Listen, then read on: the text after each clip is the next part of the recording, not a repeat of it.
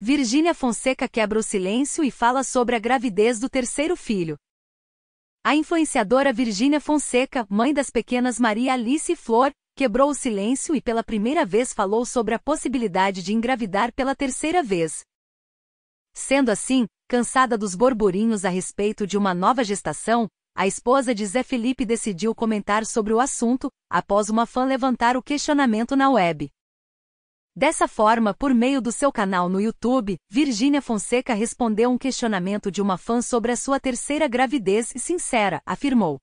O terceiro filho vem quando Deus permitir, mas já adianto que meu chip contraceptivo venceu, então pode vir a qualquer momento, né? Estamos aí, revelou a influenciadora, garantindo que a terceira gestação está mais próxima do que muitos imaginam.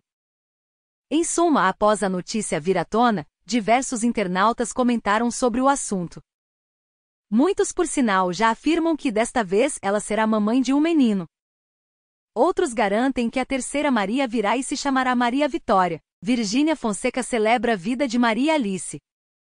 Nesta manhã, 30 de maio, Virginia usou as redes sociais para prestar uma linda homenagem de aniversário para Maria Alice, sua primogênita que completa dois anos.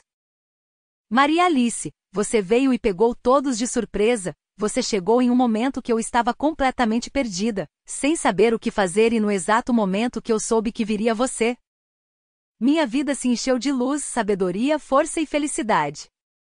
Maria Alice, você não foi planejada por nós, foi planejada por Deus. Me encontro em lágrimas escrevendo esse texto P você, destacou ela, ao postar alguns cliques com a herdeira.